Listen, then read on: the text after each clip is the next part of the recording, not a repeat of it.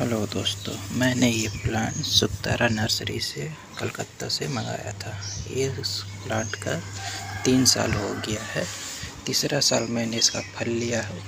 अब देख सकते हैं कि कितने लगे हुए हैं फल।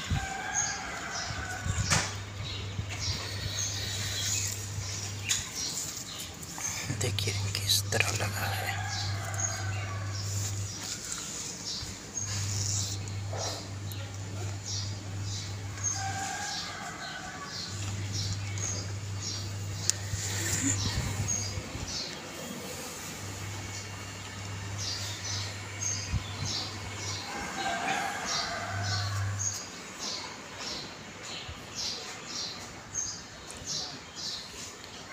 हर डाली पे फल लगे मिलेंगे